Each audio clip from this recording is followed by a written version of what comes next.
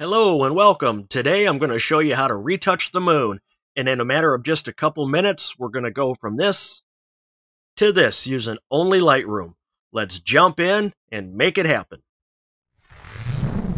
PbK Studios. Welcome. I'm so glad you could stop by and join us. And what we have here is a photo from back in September for the Blood Moon Lunar Eclipse, that one rare event here in Detroit. It was just a nasty gray overcast sky for most of the evening, and after sitting for a few hours, we were about to pack it up when we finally got just a very small, quick break in the clouds, and we were able to fire a couple photos off. We didn't think we had anything really major or significant. Get home, get everything into the computer, and get into the Lightroom, and then we had this. And this is where the power of Lightroom really starts to show through. So let's get started. And we're just going to do my normal workflow. Start at the bottom, come up top, and work our way back down. And under camera calibration, we're going to leave it on Adobe Standard because typically I would go to landscape or maybe even camera standard. But I like the way Adobe Standard looks from the start.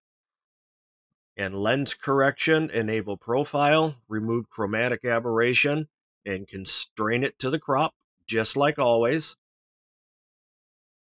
And for some reason, still with this lens, I have to tell Lightroom which one it is. And already you can see just the subtle difference. And then we'll come back up here and here is where our artistry comes in. Uh, maybe a little too red. We'll just click through them all and see how we like it. Eh, that's getting a little close. Back this down, cool it down just a little bit because I'm watching the color across the moon and a little bit that's coming in right here in the break in the clouds. And we'll come down here. Highlights down just like always. Shadows up just like always. Let's see if we can brighten it up. There's everything. There we go. Now you can see why we shoot raw and why we use Lightroom. Maybe just a touch of contrast. About like that. We'll set our white point holding down Alt or Option on a Mac. We'll drag up until we see some pixels on the screen to about right there. Yeah, we have a lot of black, but I'm going to add just a little bit, just like that. And moving down, just uh, too much clarity. I'm not going to add as much clarity as what we normally would for most photos, but I like that there. Add a little bit of vibrance. For my moon photos, typically I go about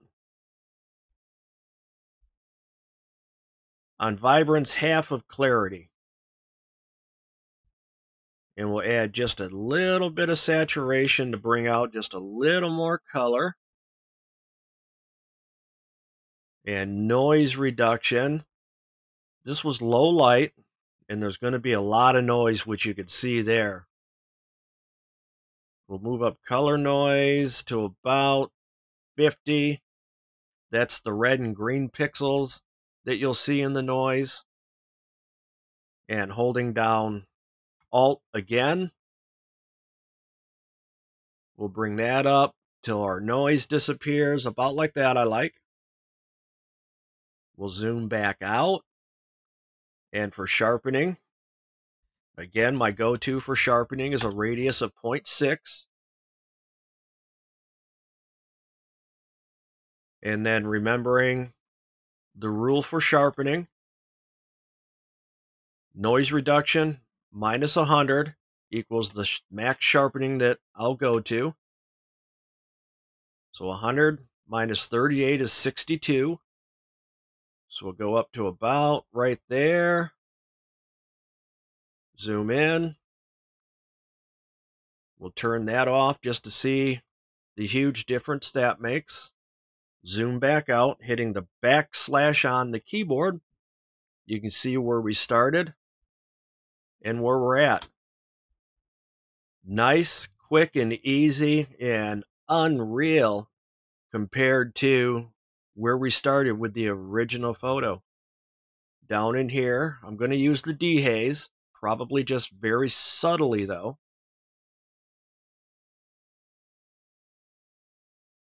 So I'm watching for the contrast right around the edges of the moon. We bump it up, remembering dehaze is basically intelligent contrast.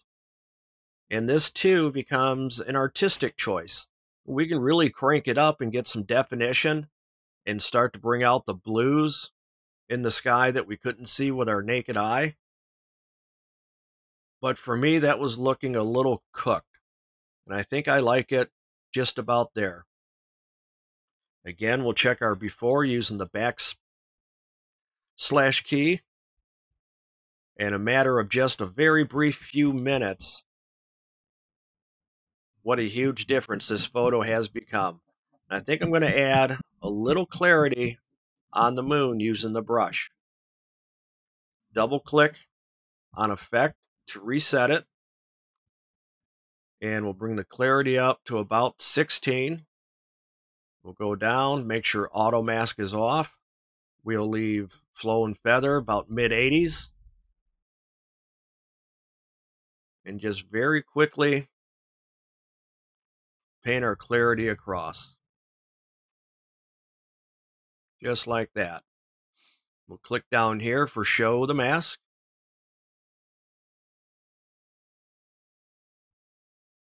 Turn it back off. I'm getting ahead of myself. Check our before and our after. We could probably bump the clarity up on this just a little bit more. We don't want it to look over processed. We don't want it to look cooked. And we actually are almost done already, that quick. Because this photo doesn't need really a whole lot to it. That's our before and that's our after. We don't even have to crop it in. And I think we are actually going to call this one done. Thanks for joining in. I appreciate having you here. If this is your first time here, please hit the subscribe button on your way out, and we'll see you next time.